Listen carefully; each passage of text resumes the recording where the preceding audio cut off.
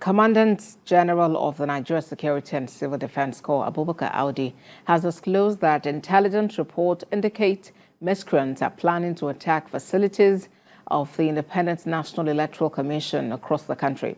He said reports also indicate the emergence of a dangerous group disguised in uniforms with intent to attack citizens. The civil defense chief warns that state commandants of the Corps will be held to account for any attack on INEC facilities in their domain.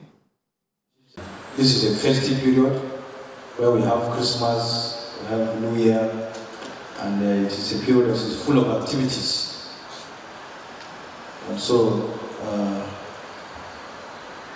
there's going to be a very massive deployment of civil defense personnel uh, to sensitive places like worship centers, recreational centers, and other uh, relaxation spots uh, just to provide security and safety uh, to Nigerians.